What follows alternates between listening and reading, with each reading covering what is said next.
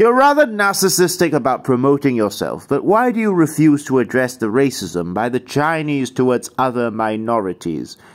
It's not wrong to point out denial of rentals or plain slurring of apunene, is it? Is your ignorance of these issues consistent with socialism? Hello, good evening. Welcome back to the brutal, cruel, and dystopian capitalist dictatorship of Kuala Lumpur. Today is going to be another run and talk video. Yes, because I always like to do a little bit of jogging before I do my weights. And today we're going to talk to you about the way to defeat racism in Malaysia. Are you ready? Let's go. And I know, liberals, that this is a very, very difficult idea to digest for you, but physical exercise does not necessarily make you a fascist. Yes. A man who calls himself socialist must be ready to die for socialism. He must be ready to die for the ideas of Marx, Lenin, and Mao. Yes. For anyone who does not perform physical exercise is a lazy, worthless degenerate. A man who calls himself a socialist must be willing to shed his blood for the ideals of socialism. Yes, that is correct. A man who calls himself a socialist must be ready to fight the reactionaries until the last day of socialism. A man who calls himself a socialist must be ready to fight the forces of reaction with every ounce of strength in his body a man who calls himself a socialist must be ready to fight the reactionaries in the landing grounds, on the beaches, in the air, in the sea, in the ocean, and in the Akhirat if necessary. He must never surrender, and I shall never surrender until I finished my 40 minutes of running. So, a very charming Malaysian Indian gentleman came screeching on my Twitter page recently, and basically, he was very angrily demanding that I address the racism of the Chinese Malaysian community towards Indians. And this guy has been harassing my Twitter profile for a while with all sorts of nasty names. Because apparently, according to this Dinesh Nair fellow, I'm apparently too soft on the Chinese Malaysians, who are apparently very racist against the Indian community. Now, this is ironic because, on one hand, you have this guy who's saying that I'm biased in favor of the Chinese Malaysians. So apparently, I refuse to call out racism by the Chinese Malaysians. And on the other, you have Asian American diaspora ultras and Chinese ultras in Malaysia who call me a race traitor.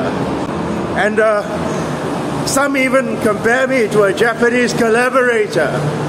Because no, I'm not particularly fussed about whether vernacular schools survive the 21st century and no, I'm not particularly interested in learning Mandarin. I have a lot more interesting things to do with my life. And yet, it's like, you know, to some people, I am basically biased to the Chinese community, and to others, I am a race traitor. And uh, to some, I'm apparently a British stooge, and to others, I am commie scum. So make up your minds, my enemies, my dear esteemed opposition. Please make up your minds and actually be consistent in your, um, you know, your, your critique of me. Yes. But anyway, let's humor this fellow a bit by going through our Twitter discourse. And then you can decide whether I was the fair minded one or whether he was the fair minded one. So it all started when I said public service announcement. if you're supporting Palestinians but treating Rohingya people like garbage, then your support is worthless. Because quite a number of fascists in this country really, really have a double standard towards Rohingya refugees and Palestinian refugees regarding the uh, latter as superior to the former. And, well, this Dinesh Nair, who's a Malaysian Indian fellow, says, what if they treat Palestinians like shit, Rohingyans like shit, and Indians like shit by denying housing and jobs to them, comrade? So he's dog whistling. You know what he's talking about, but uh, yeah, let's get to the next tweet. So I say, pray tell, Mr. Nair, who the they you are alluding to might be. To which Mr. Nair responds, Are you a socializing idiot who doesn't understand? Pun intended, comrade Bangsar. Okay, Bangsar is basically the place where all the Malaysian liberals hang out. It's a this hive of scum and villainy in Kuala Lumpur. It's the place where all the pro-West Malaysiakini liberals like to hang out. And it's uh, supposed when we refer to the Bangsar bubble, we're referring to uh, people who basically use progressive language but are out of touch with the sensibilities of the working class in Malaysia. And basically, Bangsar is like the Gangnam of Malaysia, so to speak. Which is strange because I only visit Bangsar when I absolutely have to. I only go to Bangsar once every few years. So I say, judging by your track record, I know which minority race you wanted to bring up, but I was hoping you would have the balls to say it explicitly, Dinesh. I do, a shit ton of times. Why do you shirk it though? Why dance around it? Why? Judging by your track record, you're a false socialist who doesn't like it being pointed out. This is exactly how the liberals react when you bring up racism by the Chinese against others, including Malays, in Malaysia. They develop sudden amnesia and sweep it under the carpet because it disputes their worldview that only the Malays are racist. Ah, so you're just a garden variety xenophobe then. Well, I don't really need a xenophobic shithead's approval, as it is of no more consequence than that of a cockroach. You're rather narcissistic about promoting yourself, but why do you refuse to address the racism by the Chinese towards other minorities? It's not wrong to point out denial of rentals or plain slurring of apunene, is it? Is your ignorance of these issues consistent with socialism? Well, I actually did make a video calling out the problematic and odious trend of racism against Indians in this country. But no, when I did that, he said I was uh, doing a public masturbation, meaning I was just jacking myself off and trying to get followers.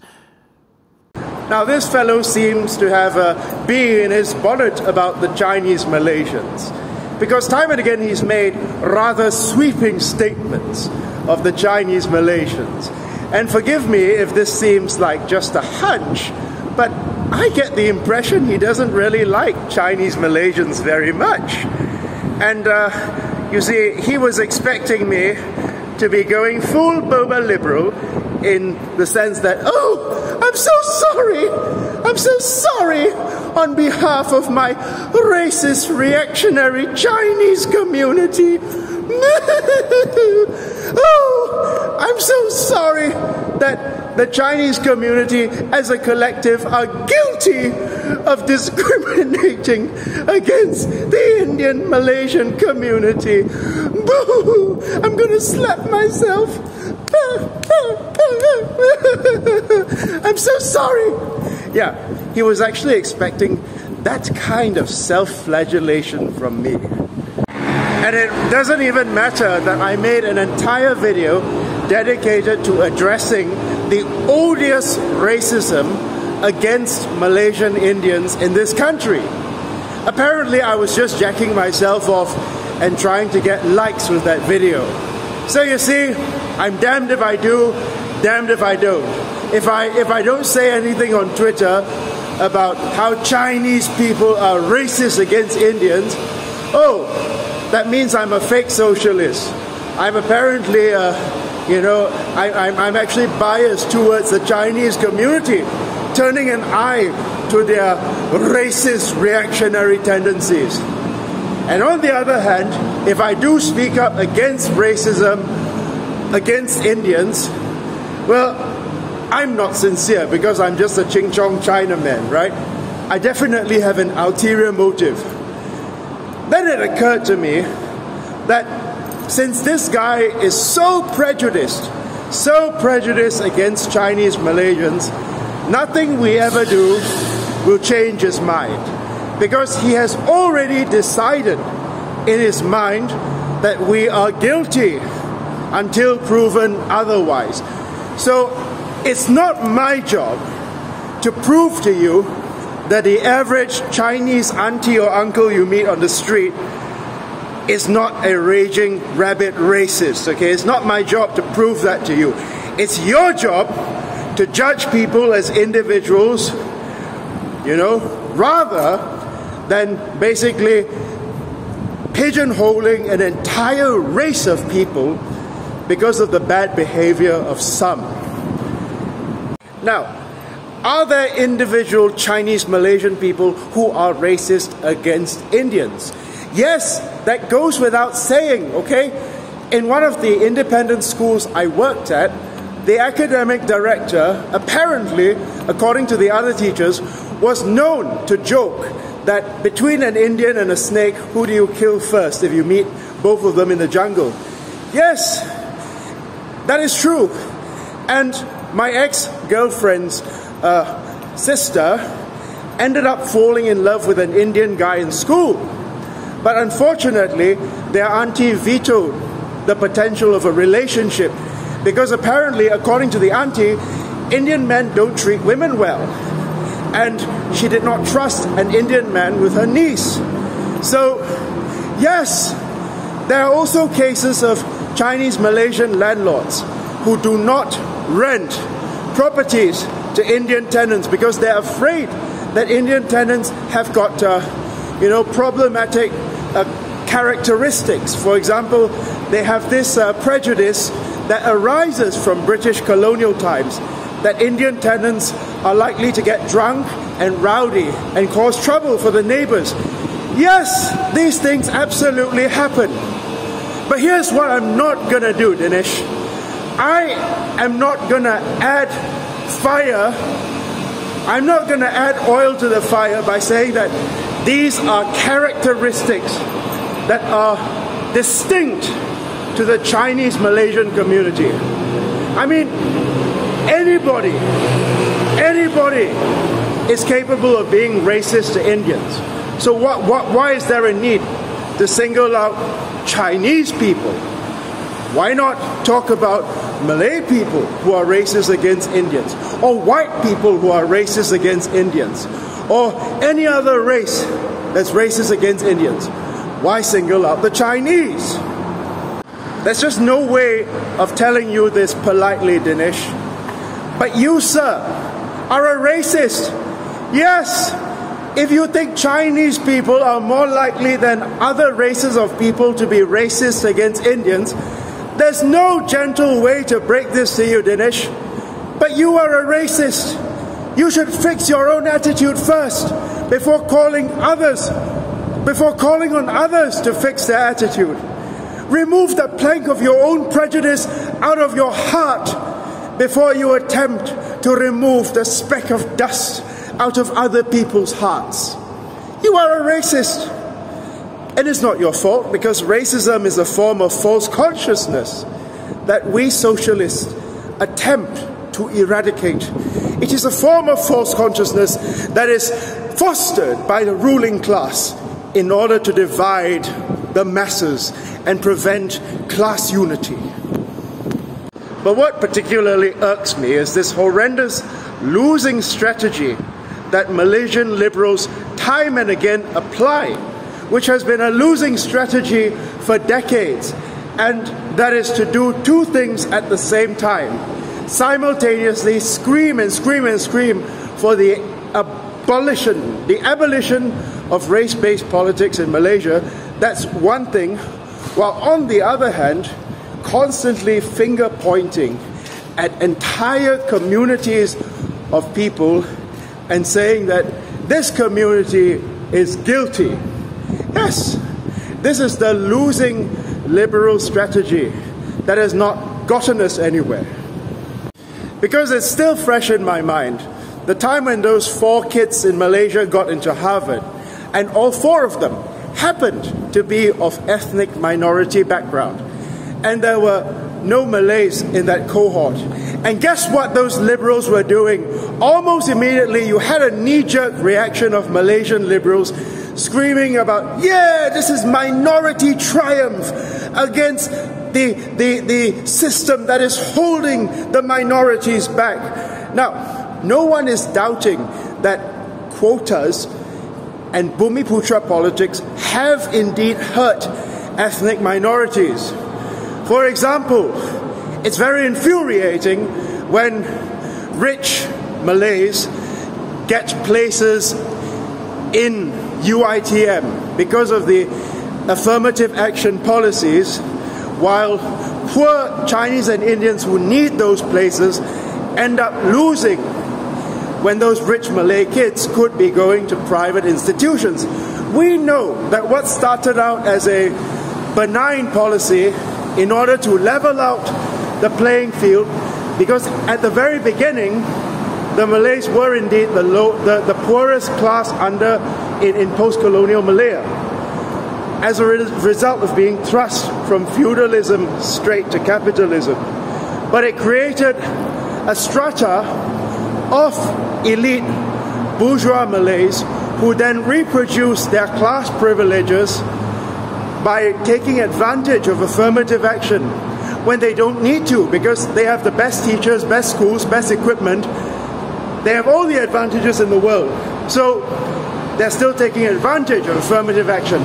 But but here's my problem.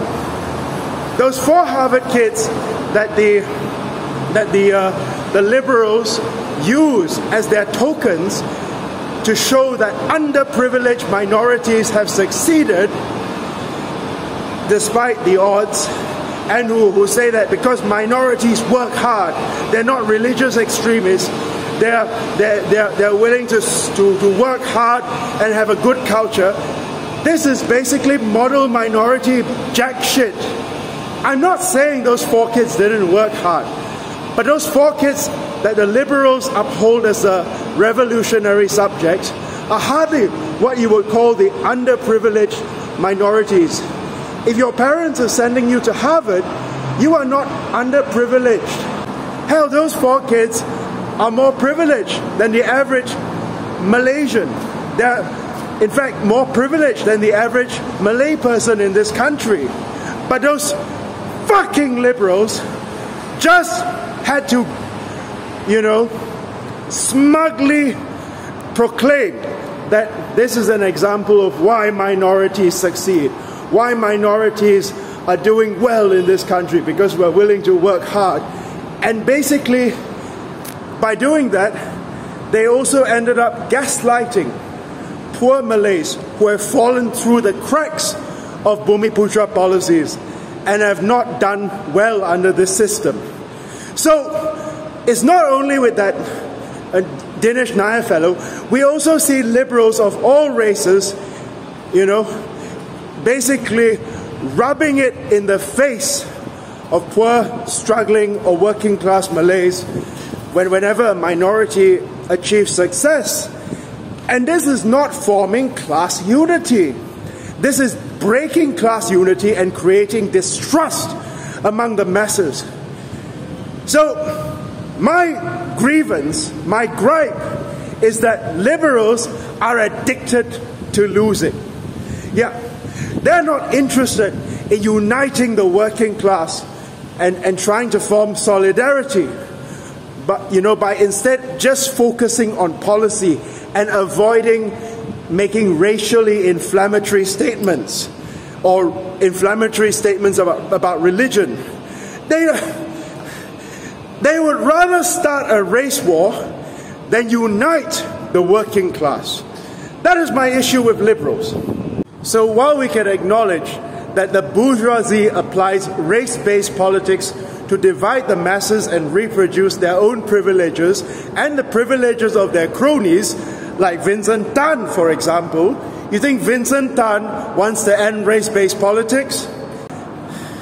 Instead of, you know, addressing this as like through a class analysis and seeing it as a way for the, the bourgeoisie to divide the masses, these damn liberals then have to point to the Malays as a collective and say, oh, Malays have a cultural problem.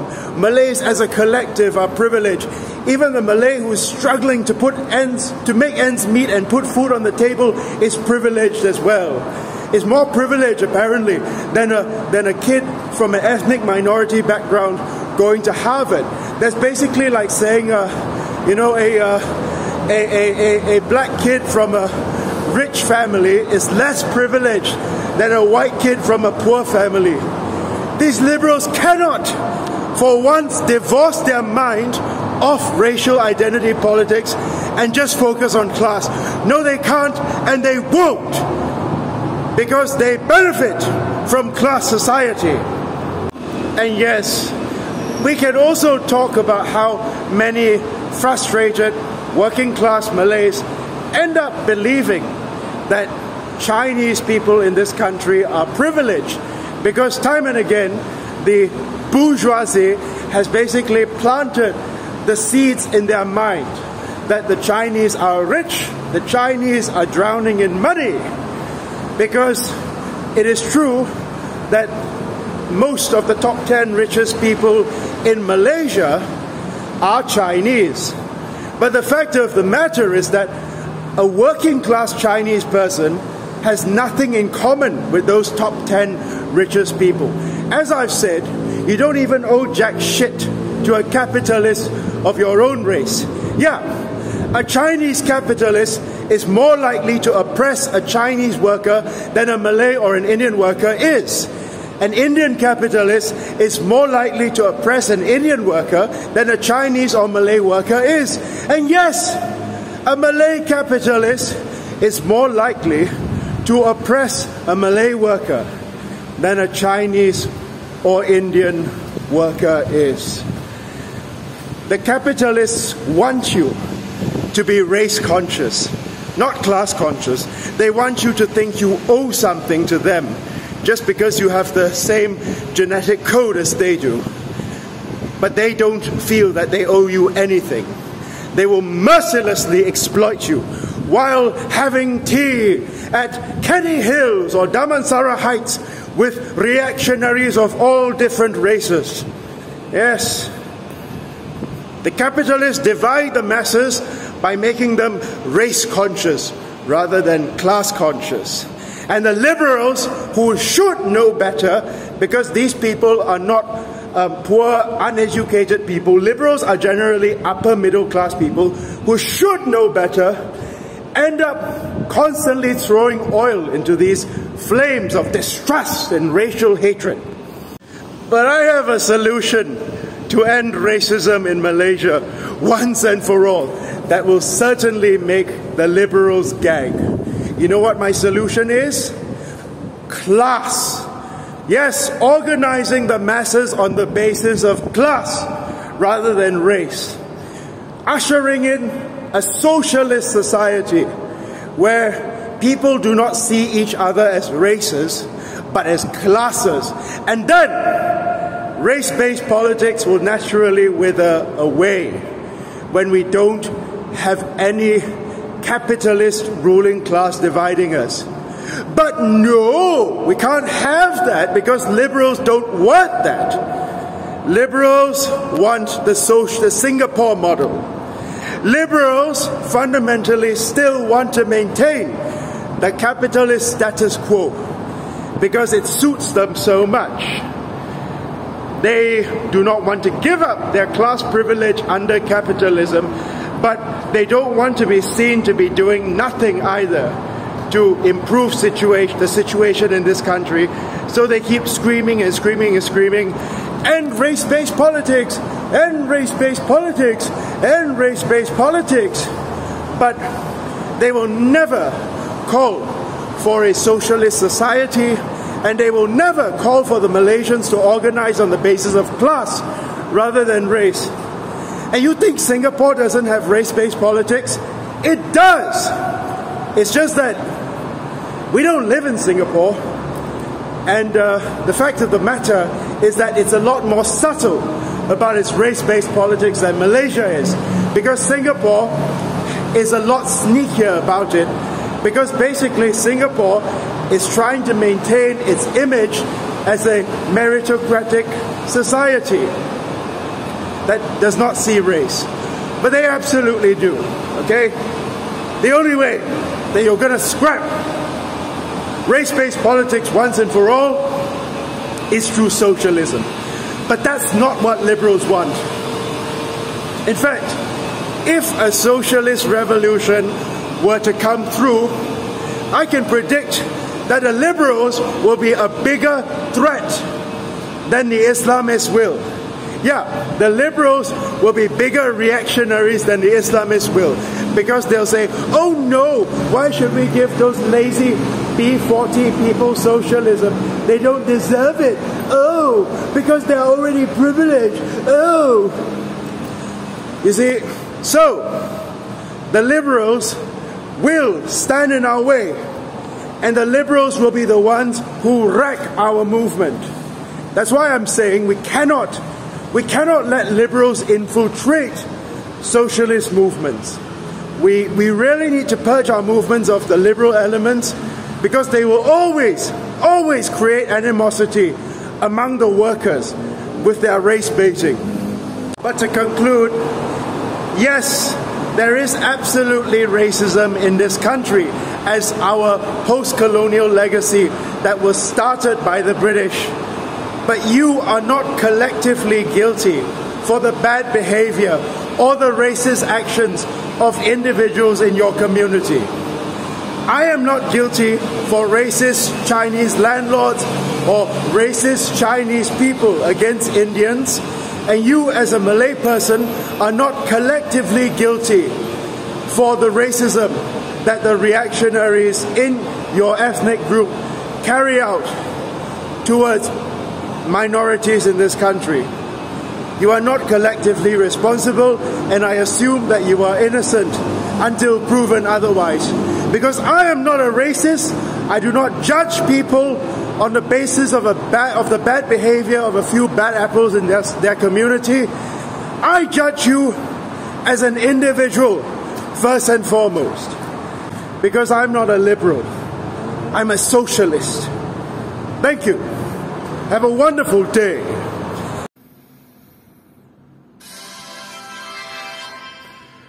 Союзные рухи республик свободных сплотила навеки Великая Русь.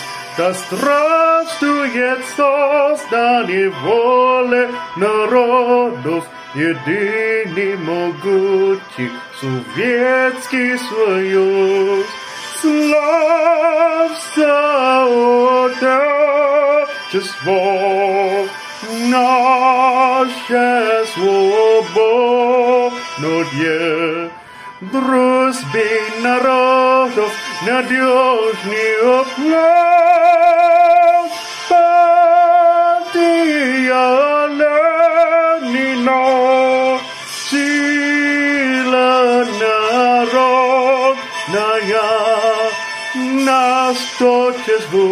como de Dios.